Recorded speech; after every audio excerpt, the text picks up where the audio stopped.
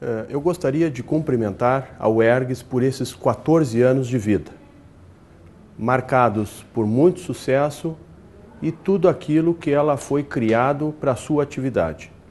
Cumprimento aos professores, cumprimento aos alunos e desejar que continue por muitos e muitos anos trazendo aquilo que ela foi criada, desenvolvimento e qualidade de vida a todos nós gaúchos e rio-grandenses.